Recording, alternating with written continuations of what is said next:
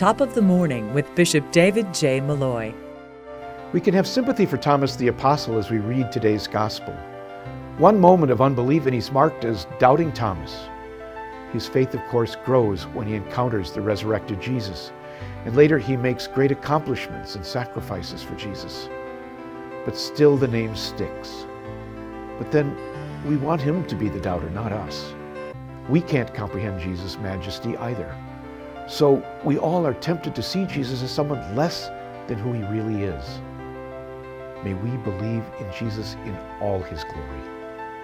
And until tomorrow, may Jesus fill you with his grace.